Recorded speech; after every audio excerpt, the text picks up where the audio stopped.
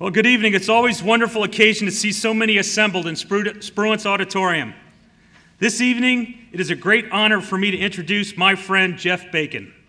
Tonight, he will present the Contemporary Civilization lecture entitled Toons, Roots, and Troops The Art of Leadership. Sponsored by the Naval War College Foundation. Where's Peter? Thank you, sir, and your band of brothers and sisters. Through the generosity of Doctors Daniel and Susan Tice, in honor of Lieutenant Michael P. Murphy, Medal of Honor recipient. Jeff's first Navy Times cartoon, Broadside, was published in March 1986 and has appeared weekly ever since. In 2006, his marine oriented cartoon, Greenside, began its run in the Marine Corps Times. His art has been printed in numerous government publications, professional papers, and a lot of cubicles around the world. His cartoon, I know from sitting in on classes, it's a rare class that doesn't have a broadside cartoon, one of Jeff's cartoons, that somehow perfectly captures all it means to serve in uniform. His cartoons have been displayed at the Navy Art Gallery and the Navy Memorial in Washington, D.C., and have been published in three books. He don- donates artwork to the Navy Memorial and various nonprofit groups throughout the year and has been a featured speaker for numerous commands and organizations around the world. A member of the National Cartoonist Society, he has been active in the, quote, Support the Troops initiative, arranging visits by professional cartoonists to active duty and VA hospitals in order to give back to those who served. He was honored in 2008 with a Special Recognition Award by the Surface Navy Association, and in May of 2009, he was awarded the Silver T Square by the National Cartoonist Society for his efforts in supporting our troops. He currently resides in Idaho, breathtakingly beautiful Idaho, with his wife and best friend Rebecca, shares my wife's hometown of Coronado, California. Both got our wives in Coronado, A in judgment. Uh, his daughter Nicole, and a dog named Elway. So if you wonder who his professional football team is, that's the formal introduction. You guys know I know that I love Admiral Chester Nimitz, five-star fleet admiral 1923 graduate of the United States Naval War College.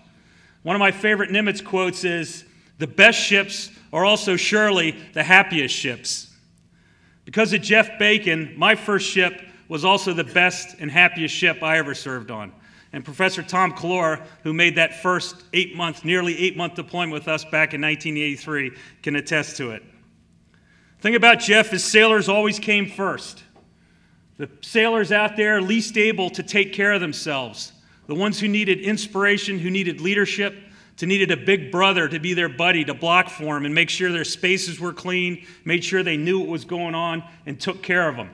I watched the best leader on USS Cook for two years. After I relieved him, I watched him serve as navigator and then as first lieutenant.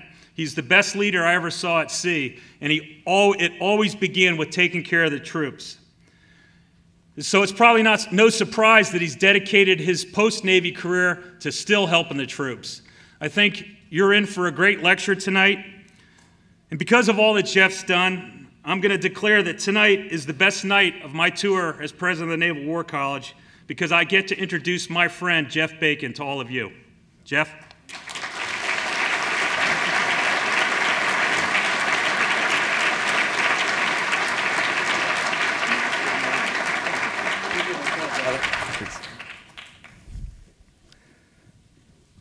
I'm supposed to talk about contemporary what? What was that called?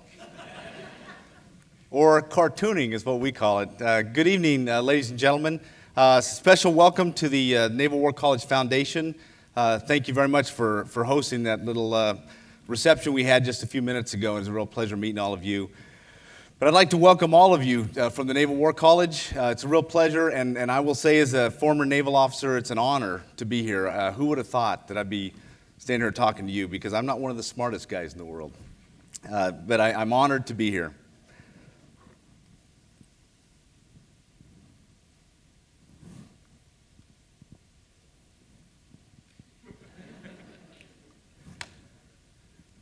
Steve, can we get the next slide? There we go. I'm going to say next and uh, just kind of go that way. How about? Uh, okay, next slide. There we go. First, I'd like to thank Admiral Christenson.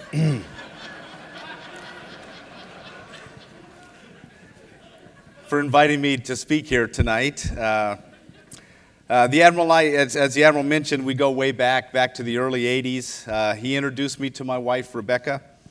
Uh, he escorted my mom at my retirement ceremony. Uh, he and Teresa, in my opinion, are two of the most decent, patriotic, and gracious people I've ever met. So thank you. Notice I didn't mention the two kids sitting behind you. No, they're good kids too. Next slide. I got a note from Admiral Christenson asking me to speak, and I'd like to read it to you. He said, George Will, Bob Ballard, the Israeli ambassador to the U.S., Nimitz, Spruance, JFK, every chief of naval operations, every chairman of the Joint Chiefs of Staff. The only one missing is Bacon. Next slide.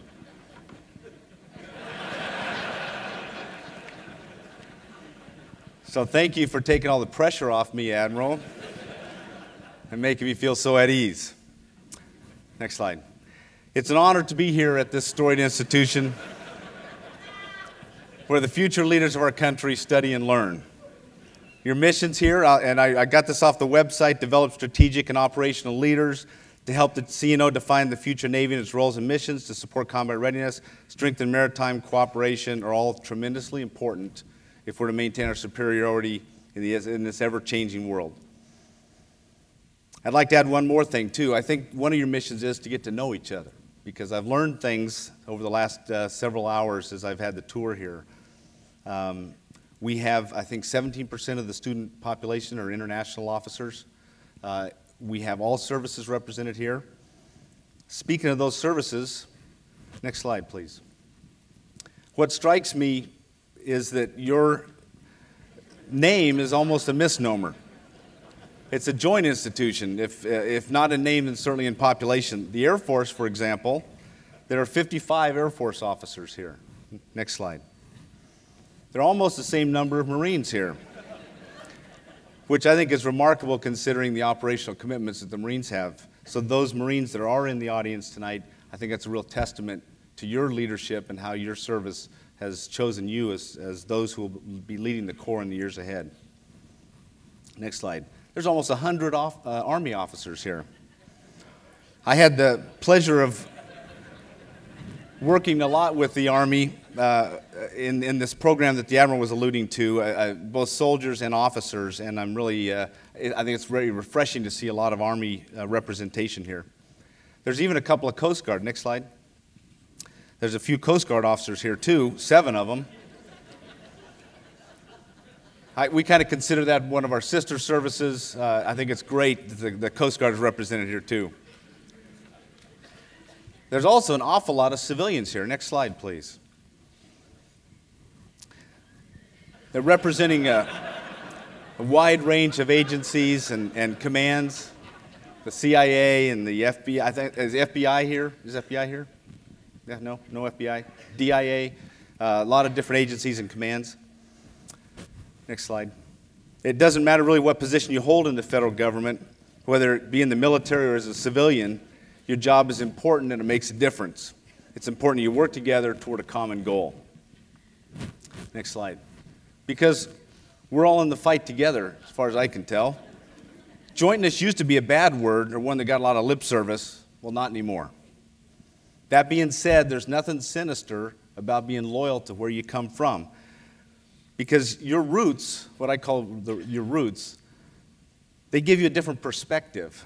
And so when you're solving all these strategic problems that you guys do in those doors that the Admiral wouldn't let me go into, you bring a different perspective.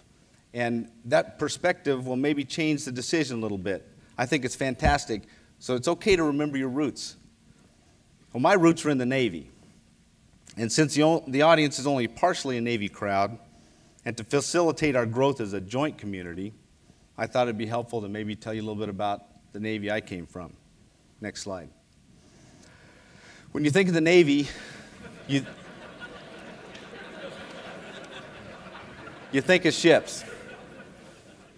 71% of the globe is covered by the ocean. 50% of all species live there. One in every six jobs in the U.S. is marine related, and a third of our GNP originates there. So we need people who really know what they're doing out there on the, on the high seas. The OD, by the way, is the guy who drives the ship. But the Navy isn't just about ships. Next slide. The Navy enjoys undisputed air superiority at sea.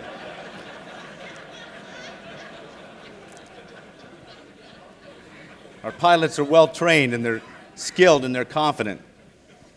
Not everybody can be an aviator. The training is tough, and only the best survive to earn those coveted wings of gold. Next slide. And our submarines are sophisticated killing machines.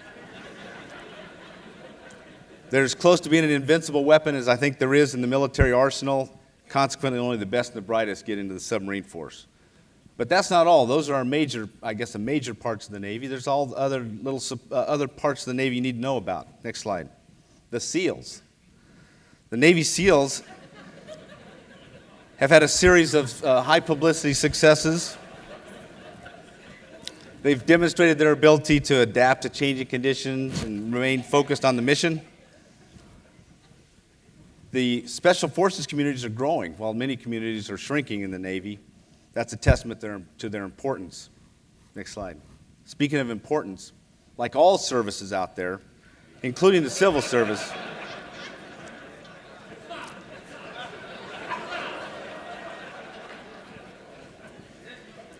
nothing happens without the supply guys. They, uh, they ensure that the, the things that you need to, to do, to, to have to to perform your mission are there on time and in the right place, which is no small thing in, in today's world when everything is moving around so quickly. Next slide.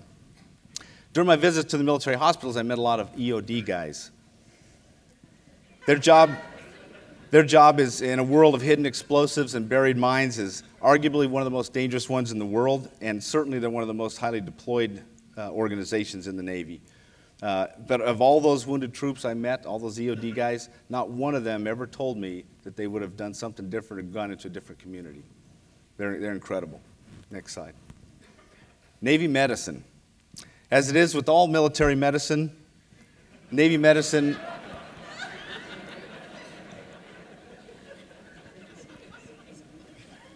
I drew that when I was 50, just in case. Navy medicine's incredible. Uh, had a chance to visit with a lot of Navy medicine people around the world, and the, the technology that they bear and the dedication they have to our troops is second to none. It's eye watering, it's humbling to see how well they take care of our troops. Next. Speaking of taking care of the troops, the chaplains. Don't talk about them very much. They're kind of the silent corps. They aren't flashy and they, they don't focus on their own personal achievement, but their goals are a little bit more lofty. They serve the Lord while they serve us. Next. Uh, I could go on and on about the Navy. I, it doesn't really matter what service you're in, uh, because for all of you that are in the audience today, you're here to hone the leadership that you've already demonstrated. Otherwise, you wouldn't be here. It's important because you've been tapped as the next generation of leaders. Your jobs at the Pentagon, on, uh, on the battlefield or at sea, will take on an ever increasing scope and responsibility. It is you who will determine the course our military will take in the years to come. So be ready because we're counting on you. Next slide. Leadership is an easy word to define.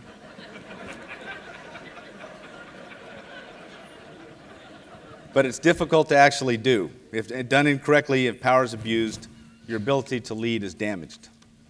Next slide. Young officers learn to lead by watching and emulating the chain of command.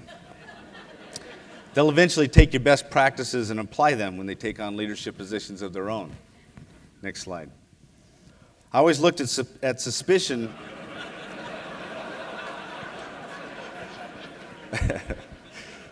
I always look with suspicion at a commanding officer or an executive officer who told me, I love my job, I'm having a blast. I prefer the ones who agonize over the decisions because they're the ones who seem to understand the importance of their roles. They were the leaders who made decisions because they were the right ones, not always the most popular. Next slide. I'm no sage, But if I learned anything in almost four decades of my association with the military, it's this it all boils down to the troops. Without them, you're nothing. And they're counting on you to take care of them. Think of the responsibilities our, our young military members have on the battlefield.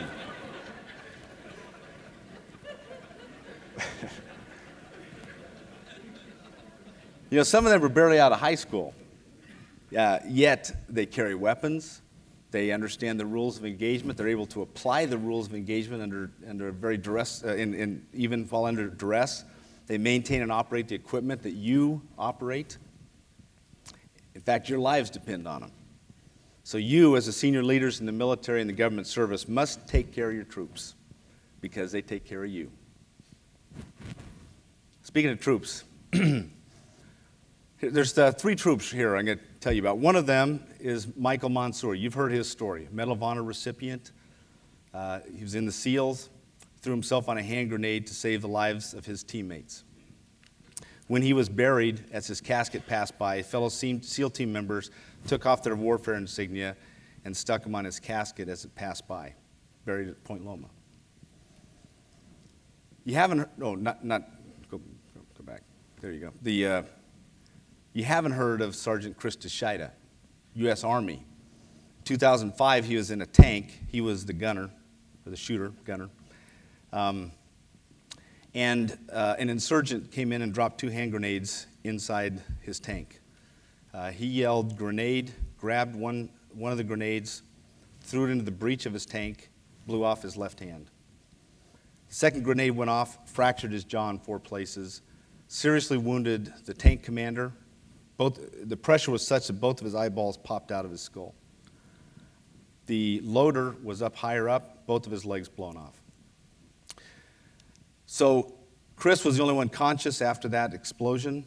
Uh, he looked around, he realized the tank commander was still alive, stuffed some things into his eye sockets to stop the bleeding, dragged him. Chris DeShida is about 150 pounds soaking wet.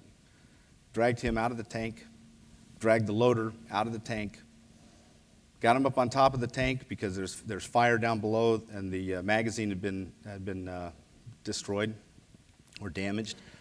The insurgent came, um, Shida with his good hand, reached for his gun, killed the insurgent, and then he started banging on the, the tank uh, driver's compartment.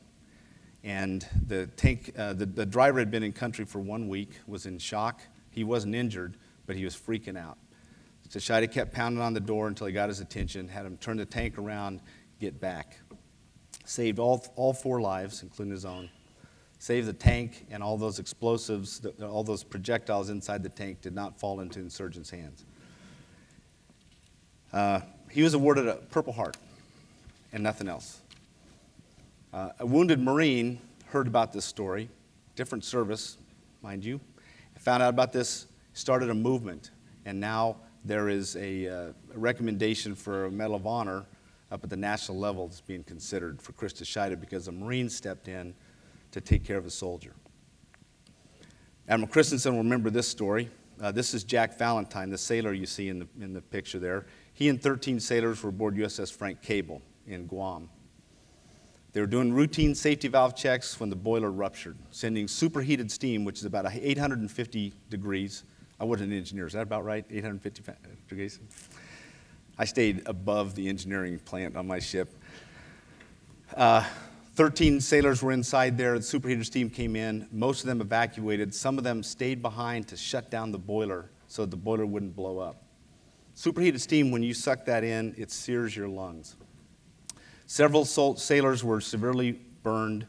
Two of them eventually died. One was, master, was machinist mate chief Delphin DeLay from the Philippines, and the other one was Jack Valentine. They died taking care of their ship and their shipmates. Next slide. I'm associated with the program for severely wounded and injured veterans in Idaho called the Wyakin Warrior Foundation. Wyakin is a Native American term that stands for guardian spirit. Uh, we had our first five students start five, or about six months ago. Uh, we have 11 in the program now. Um, but 108 people have volunteered and gone through training to help these guys with mentoring, to, with tutoring, to, to knock down obstacles that they have as they try to build careers for themselves. Volunteers include Vietnam veterans, OIF, OEF veterans, students, and civilians, many of whom have no military experience or even have ever touched the military in their lives because they just want to give back to those who've served and sacrificed on their behalf. In return, these Wyakin warriors will someday become leaders in their own communities, and they'll be able to give back to those who serve them. Take care of your troops, and they'll take care of you. It's the cycle of military life. Next shot. So when you, when you leave here and you return back to the battle, look into the eyes of those you lead. You'll see professionalism, you'll see dedication, and you'll see pride. Heroes walk among us every day. You sit next to them. You pass them in the passageways of your ships or your commands. There are heroes in this audience here tonight. Some of them have had their moment, others await the call. But they're out there, and they're your troops. Protect them as if they're a priceless treasure, because that's what they are. Next shot. Earlier, I talked about roots. Your roots extend much deeper than your own branch of service. Your roots are the foundation upon which our entire country is built. You represent something much bigger than yourself. Your country has put, you in, put in your hands a sacred trust that you will protect them and the liberties they hold so dear. We hear of horrific acts by crazed fanatics and tyrants and seen their tactics firsthand. You serve tour after tour after tour in remote lands fighting a brazen and ruthless enemy who seemingly has no compassion or sense of humanity. We see all this, and we just wish things would go back to normal again. But I submit to you, ladies and gentlemen, that that is the norm. Tyranny and violence have followed mankind since Cain slew Abel. That is the normal state of affairs. Our experiment in democracy is the anomaly in the history of man. It's fragile, it's always under attack. And given a vacuum, the forces of evil will gleefully step right in. Without the rough men and women who stand ready in the night, our beloved liberties could be at risk, they could be lost.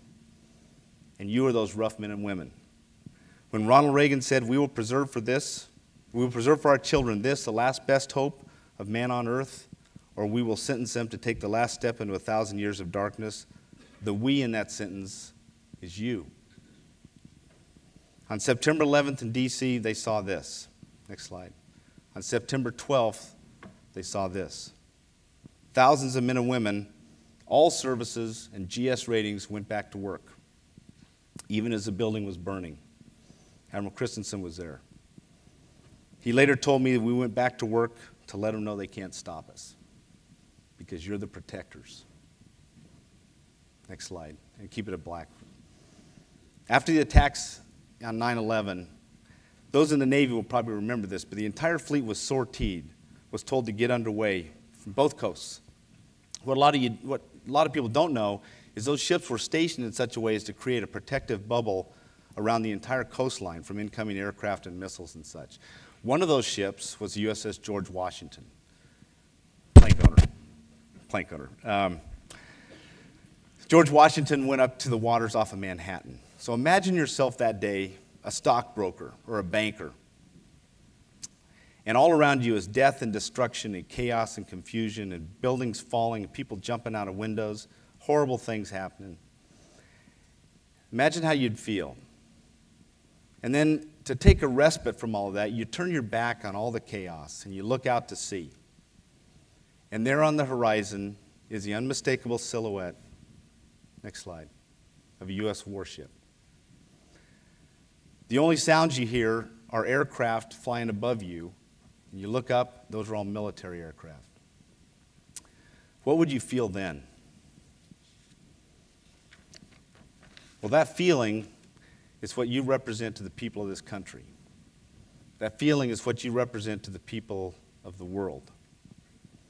You represent a country that's founded on the principle that life, liberty, and the pursuit of happiness aren't just nice words or an ideal for which you should strive, they're natural, God given rights that you've sworn an oath to protect and defend with your very lives if you must. and there's no higher honor than that. Those are your roots. Michael Monsoor, Chris Tashida, Jack Valentine, the Wyakin Warriors, and thousands and thousands of other troops just like them, those are your troops. Preserve them both, protect and defend them both. The world is watching and waiting for leaders. You, out of the countless men and women who could be sitting here today, have been chosen and saddled with the responsibility, the solemn responsibility, of leading us into the future. A month after 9 11, John McCain was speaking at the Naval Academy as part of the Forrestal Speaker Series. And he told the midshipmen, Soon you will be the shield behind which marches the enduring message of our revolution. Well, ladies and gentlemen, your time is now. You are the shield. Protect your troops, protect your roots, protect your country. And as one of the more than 300 million Americans who's a benefactor of that protection, I couldn't be more grateful or more content. Thank you very much.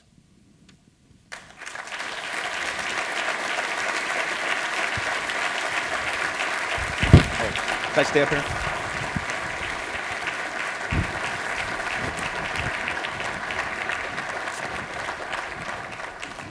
Well, I, I probably ended that on a little a solemn note, but I'm happy to talk about, uh, answer any questions you might have about cartoons or anything else. Any cartoonists in the audience? Aspiring cartoonists? You tell me you guys don't write in the, uh, your, in the notes in the classes, you don't draw little doodles? You tell me you're not doing that?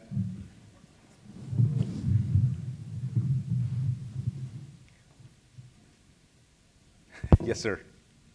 Jeff, when did you begin cartooning? Is it something you've always done, or did it come when you were commissioned, or how did this come about?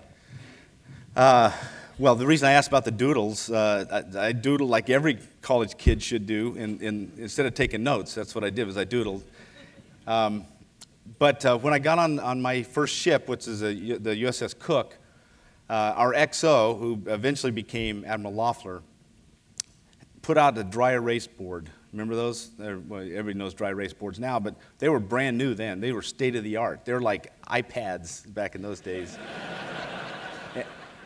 And he put this, this dry erase board right outside his stateroom, and he said, for official business only, and then he shut his door. So when you're 22 years old, what are you supposed to do? That's, it's like a magnet, drives you right to it. So started drawing, you know, doodling stuff, and so the XO would come up with some kind of a, you know, notorious idea, and we would do a cartoon about it, and then run away. You know, so the XO would get all mad. XO would get angry, uh, upset, which made it even better because then you become a rock star then. And, uh, and that's really how it started. And, and we still joke about it. I, I still uh, keep in touch with the Admiral. And he, he acknowledges he did get mad. So.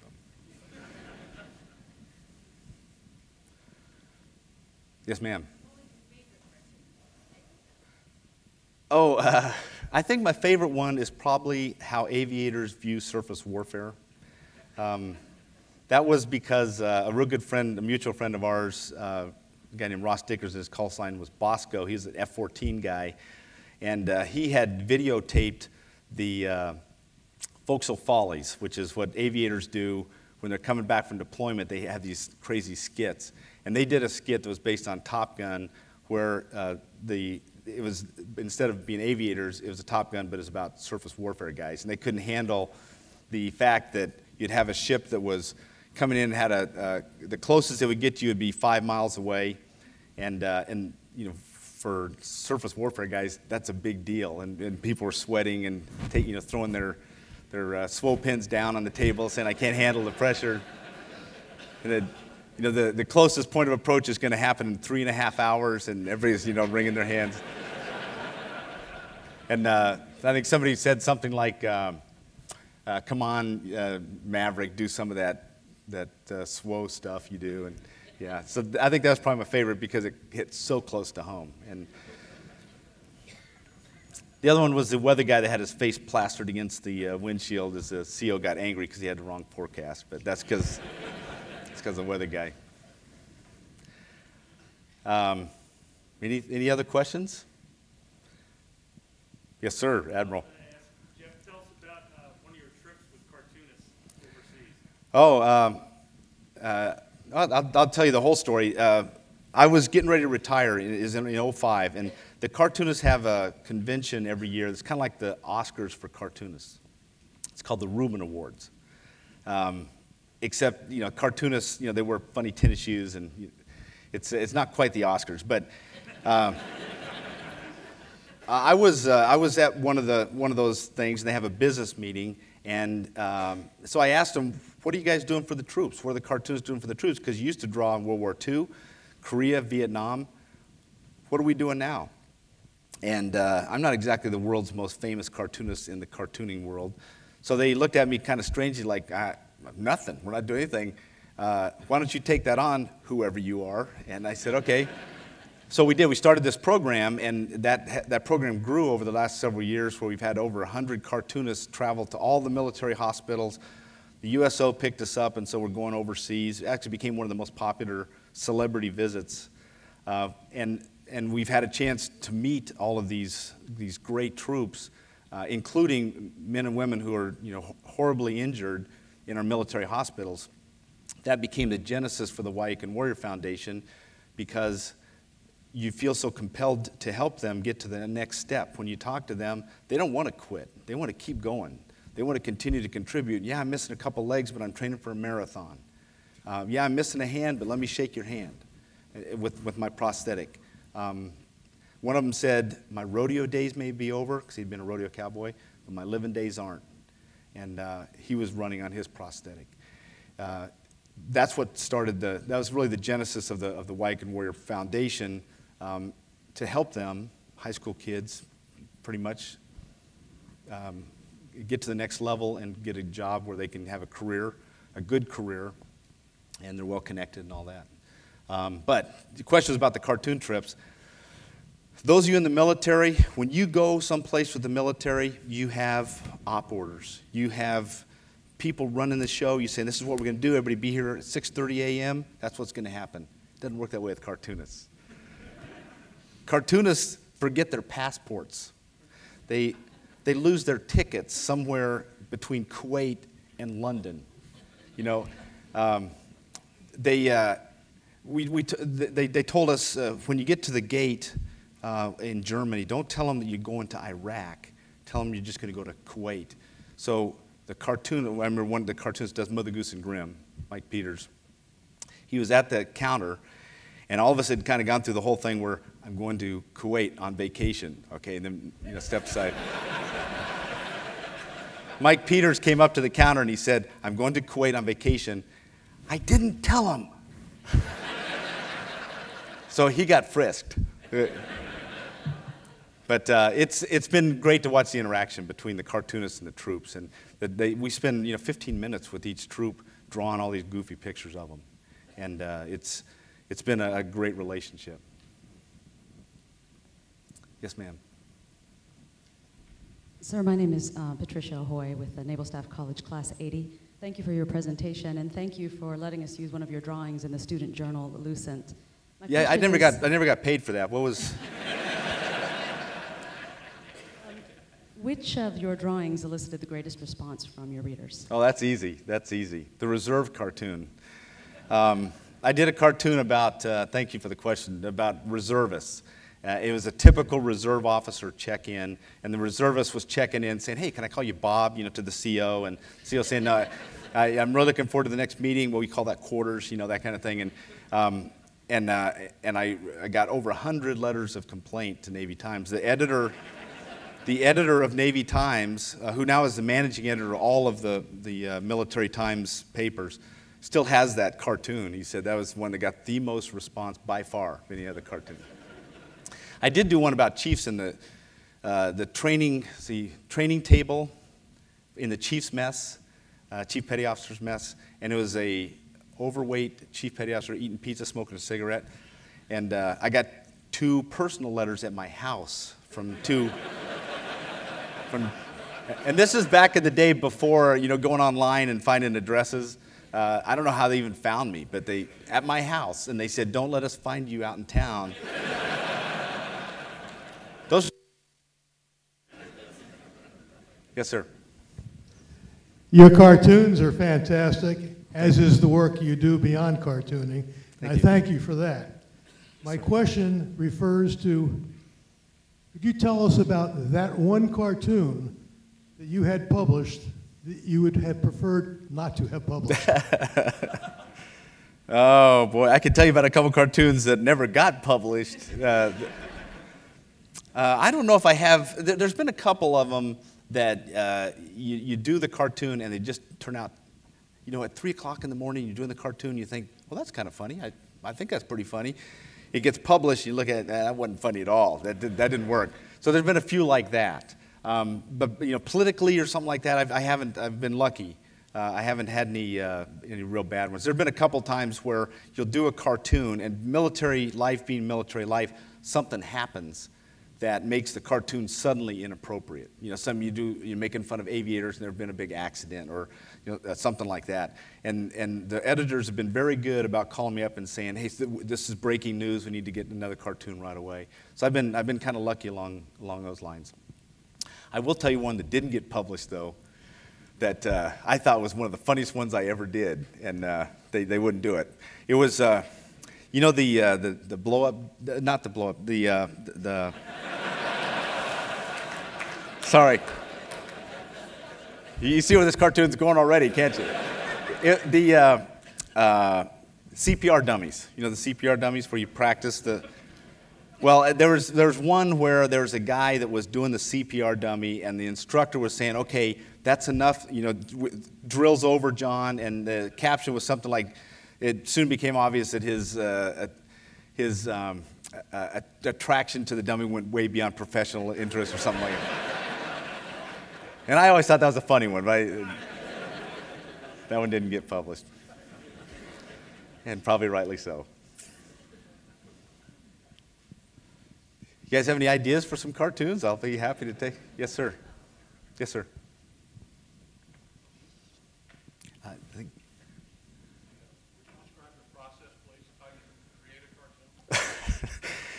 Well, the, the, the best cartoons, the question is what, what was the process? Uh, and I wish I knew, you know, I could really define it. Um, the, what I usually do, I only have to do a weekly cartoon, and the, the deadline is Wednesday, so Tuesday is when I pretty much am doing the cartoons. um, the, the best cartoons are when I get a chance to go out with the Navy or the Marine Corps and operate with them a little bit. I mean, operate, watch them a little bit uh, while they operate.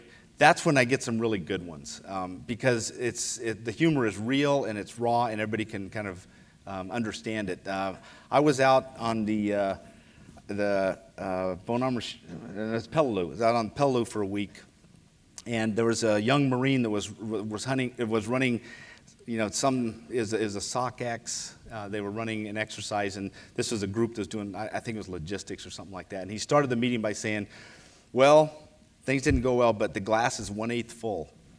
So, I, I just I thought that was just perfect, and so I did. So the cartoon I did was that. It was him just saying that, and, and so those are the best. I mean, that's the, that process is easy because when you get a good idea, then you can't wait to get on get it down on a piece of paper and figure out how you're gonna t- how to draw it.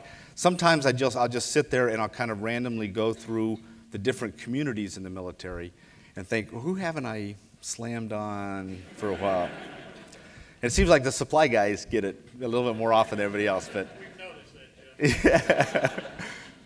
I have had a couple complaints, but I did go to a Supply Corps uh, convention last year, and uh, that was great because all the ca- supply cartoons, I was just brutal with them, and and and I thought, well, hey, you guys invited me, so that's why I'm here. yeah, that's right. That's about right. All right. Well, th- oh yes, ma'am. What, what's your favorite cartoon about inter service rivalry? I have one of yours in mind that's my favorite, but what's yours? Uh, which one do you have in mind? It- The one about um, the, uh, uh, the chief's mess, where uh, there are uh, sweating uh, Marines and Army uh, troops in the desert sweating, and the some, and the uh, someone says, "Chief, turn up the air conditioning in the ship." Well, I, there's, uh, there's one uh, uh, has anybody ever met Colonel David Sutherland? He's one of the heroes of uh, the surge in Iraq. Uh, Army guy. He looks, he looks, looks and sounds like Patton. And uh, so he knows I'm a Navy guy. So he's pretty brutal when it comes back to Navy guys. I mean, he, but he always says that he, was, he remembers times when he was stuck with the, with the Navy and the Navy would disappear, kind of like a la Guadalcanal kind of thing. because they ran out of ice cream, the Navy guys did. And uh, so I did a cartoon of some Army guys stuck on the shore where he said uh, the Navy left, they, they ran out of ice cream. So that was, that's, I guess, kind of goes along those lines. Um, there's been other ones. Uh, I, I, haven't, uh, I haven't attacked the inter service thing as much as I should. Uh, but there's a lot of right material in there. And now I know we have 17% of the student body being international officers. I think that opens up to the world now. So.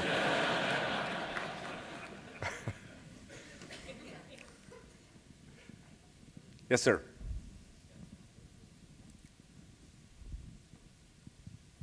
Uh, apparently, um, uh, you've worked at, at this and uh, you are quite successful in it. Uh, but when did you get your first break as a cartoonist? Um, it was in 1986, and um, before uh, I was published in Navy Times, uh, I was uh, standing a 12 hour brutal watch in uh, Monterey, California. And uh, the, uh, the uh, Naval Postgraduate School had just decided they wanted to open up their paper a little bit to some cartoonists. So I thought, okay. So I sent them some cartoons. They were horrible cartoons, but they published the cartoons, which, you know, with like anything, you get some encouragement, you keep, you know, keep going. So that was what encouraged me then to, I sent one uh, to the Pine Cone when uh, Clint Eastwood was running for mayor. Pine Cone is a little paper in Carmel. Clint Eastwood was running for mayor because the rule was you couldn't eat an ice cream cones on the sidewalk in Carmel. So Clint Eastwood ran for mayor to fix that. And uh, so I did a cartoon about him and the, and the political thing, and they published that for free. And, uh, and so I thought, okay, well, then I'll send some to Navy Times. And that's when it all happened. And I sent in six cartoons, they bought four of them. And uh, if you've ever seen the first four cartoons I published, I have no idea what they saw in those things. They weren't funny or well drawn, but it, it was, uh, it was really my first break. And, and then it, it was kind of weird. You know, I was on active duty, so I just send them some more cartoons. They'd buy some more of them. They, they, I'd send them six, they'd buy four. I'd send them four, they'd buy three. So it didn't take me long to feel like realize I'll just send them one, and then it's much more efficient that way. So I just sent them, uh, and eventually they said, just do it weekly and give it the name, and we're off and running. Yes, sir. Yes, sir.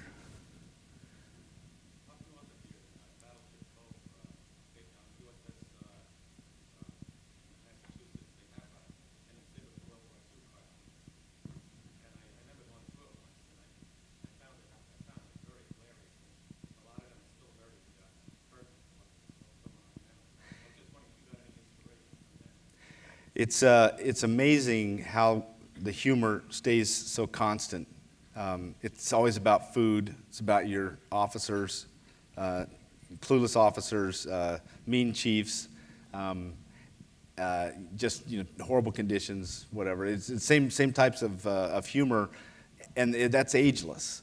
Um, the, when it comes to World War II cartoons, I've seen cartoon, uh, some World War II cartoonists uh, and but I, I, guess you know Bill Mauldin being the, the most famous one. I've read a couple of his books. He's uh, he's one that everybody kind of aspires to be, but could never never achieve. Um, but I've had some some opportunities to go to the Navy History Museum or Navy Art Gallery, those kind of places, and see some of that that art, and it's fantastic. It's just it's it's that insider humor I think that what appeals to everybody, and and they certainly had it.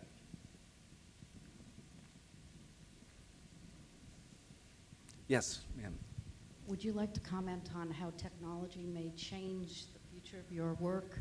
Oh. To include the social, social media and the distribution of? Yeah, that, uh, that Facebook thing is really something, isn't it? Uh, yeah, the, the, uh, that's a big topic of discussion in the cartoon world because papers are eliminating cartoons.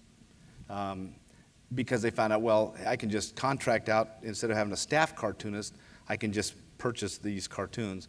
And then they started shrinking the cartoons down, and as their subscriptions decline, they start looking for people they can, where the people, places they can save some money, so they take out the cartoons.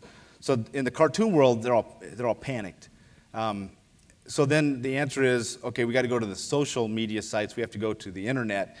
Well, how do you make money sell, selling cartoons on the internet? It's much more difficult for the cartoonist. So I don't think it's been resolved yet, but um, I think the consensus is that the humor um, is still desired. It's the medium to get that humor to, to the people that is the, the big question mark. And then once removed from that is cartoonists who need to make a living doing that need to somehow figure out a way to make money to do it. So it's, it's a big challenge right now. Um, but there's more and more stuff. I mean, everybody's online, everybody's doing stuff online now. But uh, the guys who really are the successful ones are still in the printed papers. Yes, sir. Jeff, as you drew a lot of cartoons while you were on active duty, how did that impact your relationships with your seniors and your juniors? Did you ever get any pushback from people?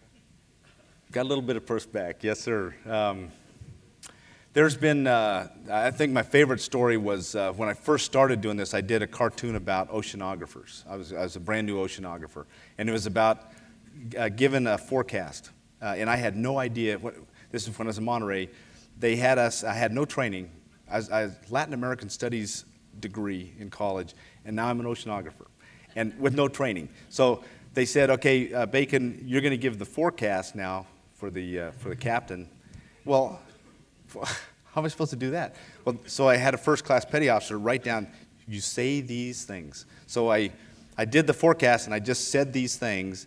And I said it was going to be a nice clear day. And the, and the captain said, You know it's raining outside? That was, my, my first forecast. Um, so I did a cartoon about that of a guy not, saying, Well, see, there's some squiggly lines here and there's some. Um, and the oceanographer at the time, not Admiral West, uh, was. Uh, very upset about that and wanted to know who this guy was because heads are going to roll. Well, he didn't know I was an oceanographer. Uh, a few months later, he pinned on a Navy Achievement Medal on my chest, not making the connection. But I knew him, and I heard the word. He, I got word from his staff that this guy's looking for you, so keep a low profile. so that was one of my proudest moments, quite honestly. But uh, and I've had a couple times some some uh, some of my bosses have said uh, you shouldn't do that cartoon. Um, but uh, very rarely. I mean, Navy's been very good about, about letting me, you know, giving me enough flexibility to do what I need to do. Yes, sir. Jeff, to what, what degree do you get unsolicited ideas? well, Admiral, when, when, I first started this, uh, I had no idea. How do you come up with ideas? You know, I didn't know how this worked. And so guys would come in my office and tell me jokes, and I would, some of those would turn into cartoons. I did one about uh, a guy told me this great story about a ballistic missile submarine coming up and saying, okay, we're all going to get a chance to look out the periscope and see the familiar skyline of either Buenos Aires or New York. And uh, I thought that's a pretty funny cartoon, so I did that. and, uh, and then I started getting a bunch of emails, or not emails, but letters uh, and phone calls because apparently that was word for word from a Bob Newhart comedy album. So that's when I, I had to write personal letters to everybody saying, look, I, you know, the guy came in my office, gave me the card, you know, it's not my fault. Um, and uh, that's when I kind of said, I'm going to probably kind of keep away from the unsolicited ideas because usually what happens, people don't mean to do it. They just, they've heard a joke, they pass it along, and some, you don't really know where that originated. So usually what I try to do now is not do that and, and uh, just try to observe and uh, you know, hear a funny comment somebody says that is obviously uh, just, you know, off the cuff that turns into a cartoon, that, that I'll still do. Is that, no? Yes, sir. S- sorry.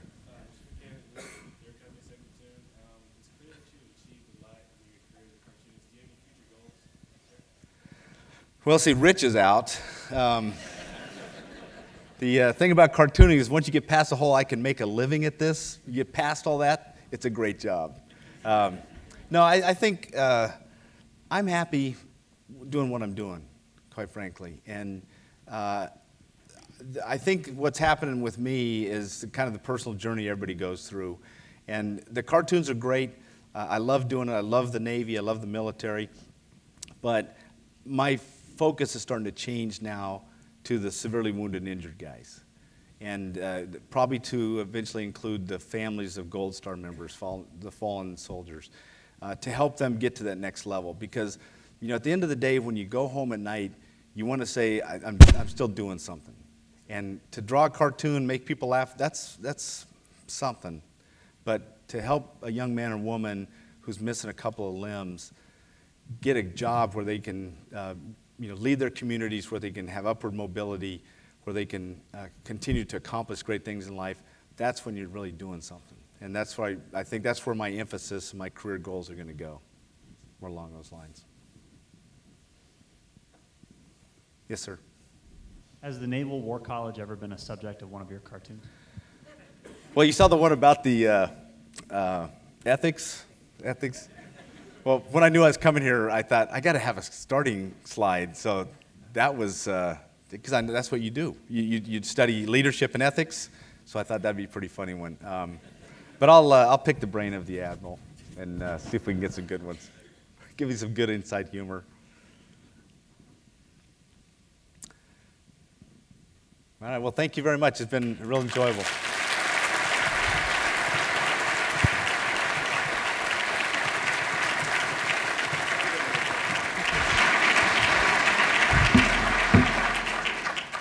Uh, so many levels, I'm proud to have Jeff Bacon up here. I, I think the young Naval Academy Prep School question kind of summed it up. It was a perfect last question, but I think we all aspire to do something meaningful in our life. And then after one phase is over, what are we doing in the next phase that's meaningful? I know the people that work here at the Naval War College in retirement don't have that problem. But uh, Jeff, like I said, I saw you as an ensign, you know, always caring about the troops, always trying to make people laugh. Uh, and you've continued it. You're making us laugh, and you're doing important work. And I think you've served as inspiration for me for 30 years. It'll be 30 years next month. Um, we would like to present you from the Naval War College. I'm a bit of a history. I think there's a slide that goes with this, right? So you all can see this. Uh, we got some incredibly talented people here. Gigi, there it is. That's what we're getting here. It's presented to Mr. Jeff Bacon on the occasion of your presentation to the U.S. Naval War College students, faculty, and friends, 13 March 2012. And uh, what you can see there is uh, Luce Hall. This is a piece of slate, the original roof of Luce Hall, oh, no which kidding. was recently renovated. And for uh, we've got incredible Gigi and her team laser engraved Luce Hall on a shingle from Luce Hall. And the, the CB, is that a CB on a lawnmower there, Jeff? yeah. That's one of Jeff's uh, cartoons. The ship there coming around the, uh, coming down Narragansett Bay is our first ship, USS Cook. We got Professor Calora here was on that first deployment, one of our fearless helicopter pilots, landing a helicopter on the back of that ship in the North Pacific in winter. Uh, Dave Castile, where's uh, Lieutenant Commander Castile? His father was our executive officer, put up with Bacon and, uh, and me and Calora and the whole gang. But Jeff, it's been an honor to welcome you back. Uh, you're going to be a hero for getting us out of here 33 minutes early. Uh, yeah, round of applause from all the families. Sir. Thank you, Jeff. Thank you. brother. Thank you, brother. India Hotel. Engraved in Uh, this is this Gigi, is, talk to Gigi. It's fantastic. Uh, Admiral, I've got something for you. Oh no, this never happened. No, this is uh, th- this is uh, uh, challenge coin. Uh, one of our just got the first batch. Oh, you got Yeah, that? You got Some- me. this translates into a beer somehow, and I'm not sure exactly. Yeah. The Wyakin Warrior Foundation, we just started uh, challenge coins, uh, and uh, uh, this is from the, the inaugural batch of it, and I'd like to give that to you. Thank you, Jeff. I'll tell you the, tell you the whole story about it later. Yeah.